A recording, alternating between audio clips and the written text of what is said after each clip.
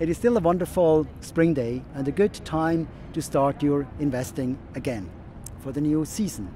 And I'm doing that right now by first looking at the old portfolio. Last week I looked at the portfolio of the first year.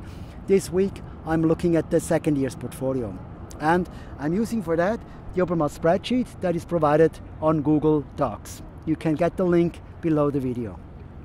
Now, the only thing you have to do is you enter your portfolio name, take any name you want, you enter the, the stocks with their Obermatt ID, their Obermatt number, and you enter the value of the stocks in your portfolio, which you get from your online broker.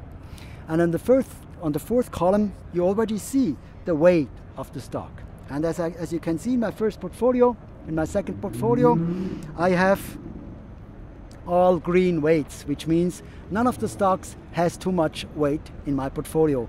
I'm well diversified. Now the good thing about this spreadsheet is that you can load the Obermatt stock rank database into it. You can get that on your weekly stock update, the email we send to everybody who is subscribed on our website. You can then use those ranks to upload them into the spreadsheet on the last page.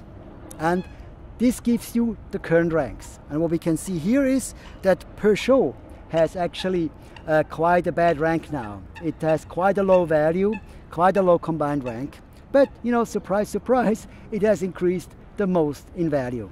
This is something we would expect. Companies that perform well get more expensive. Should we sell them now? I think no, because I'm in it for the long term.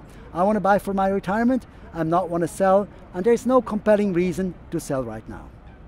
I wish you good luck with your own investment. Start with the Obermatt spreadsheet to analyze your portfolio, and then start your new investing season good luck with it.